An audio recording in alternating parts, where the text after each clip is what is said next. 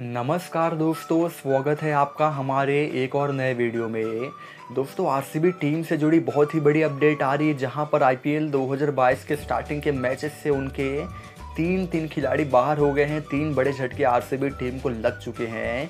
अब इनके प्लेस पर आरसीबी टीम की प्लेइंग इलेवन में कौन खेलते हुए दिखाई देगा? इसके अलावा भाइयों, क्या कुछ है और बड़ी अपडेट कौन रिप्लेसमेंट है इनका? ये सारी जानकारी आपको मैं आगे इस वीडियो में देने वाला हूँ। तो दोस्तों वीडियो को लास्ट तक ज़रूर देखिएगा। वहीं अगर अभी तक आपने हमारे चैनल को सब्सक्राइब नहीं किया है तो याद से सब्सक्राइब करके बेल आइकन को भी दबा लीजिएगा ताकि ऐसे ही डेली अपडेट्स आप तक हमेशा पहुँचती रहे। ओनली आरसीबी के नाम से हमारा टेलीग्राम चैनल भी है। अगर उसे ज्वाइन नहीं किए हो तो उसे भी आज से ज्वाइन कर लीजिए। वहाँ भी आपको आरसीबी टीम से जुड़ी और क्रिकेट की हर एक इंपॉर्टेंट न्यूज़ लगातार मिलती रहेगी। तो भाइयों डिस्क्रिप्शन बॉक्स में आपको लिंक मिल जाएगी, फटाफट जाइए, वहाँ पर उसे भी ज्वाइन कर लीजिए। चलिए वीडियो को शुरू करते हैं।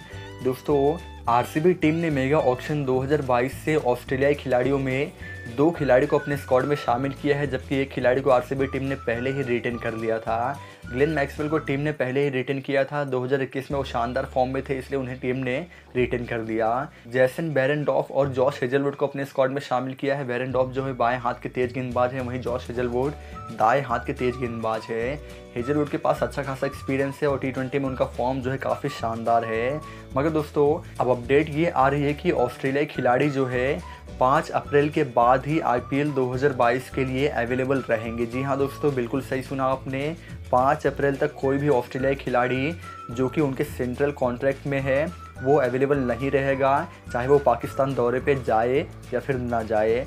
अगर उनके पास ऑस्ट्रेलिया बोर्ड का सेंट्रल कॉन्ट्रैक्ट है तो वो खिलाड़ी पाँच अप्रैल के बाद ही आईपीएल 2022 खेलने के लिए उपलब्ध हो पाएगा। अब दोस्तों, इसी वजह से जॉश हेजलवुड, ग्लेन मैक्सवेल और जेसन बेरेंडॉफ ये तीनों ही खिलाड़ी आईपीएल 2022 में हमें 6 अप्रैल से ही उपलब्ध होते हुए दिखाई देंगे। 6 अप्रैल के पहले जितने भी मैचेस होंगे आरसीबी टीम के लिए, ये सभी हमें मिस करते हुए दिखाई देंगे, उसमें नहीं खेलेंगे।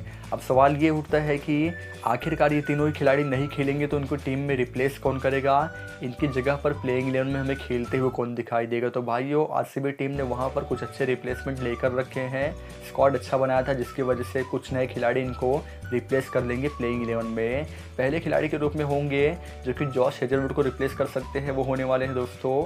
वहाँ पर David Willey David Willey England team के ऑलराउंडर हैं, बाएँ हाथ की गेंदबाजी करते हैं और बल्लेबाजी में भी अच्छे जौहर दिखाते हैं। इस वजह से वो जॉस हेजलवुड को रिप्लेस कर सकते हैं जब तक हेजलवुड नहीं आते हैं, तब तक दो या तीन मैचों के लिए वो हमें खेलते हुए दिखाई देंगे आरसीबी टीम में। इसके बाद दोस्तों मैक्सवेल को वहाँ पर रिप्लेस करने वाले हैं फिन एलन जो कि न्यूजीलैंड टीम के ओपनर बल्लेबाज हैं।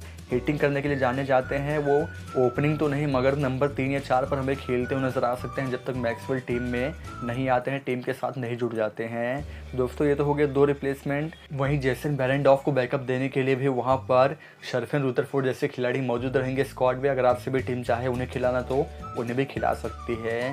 हालाँकि जो दो खिलाड़ी कन्फर्म खेलने वाले थे प्लेइंग इलेवन में, वो मैक्सवेल और जॉस हेजलवुड थे।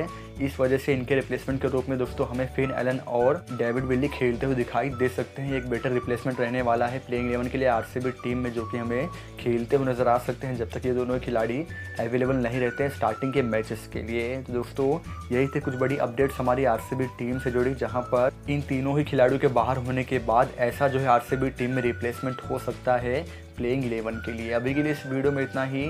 अगर आपको वीडियो पसंद आई हो तो इसे लाइक और शेयर ज़रूर कीजिएगा। मिलते हैं अगले वीडियो में। तब तक अपना बहुत ख्याल रखेगा थैंक्स फॉर वॉचिंग दोस्तों।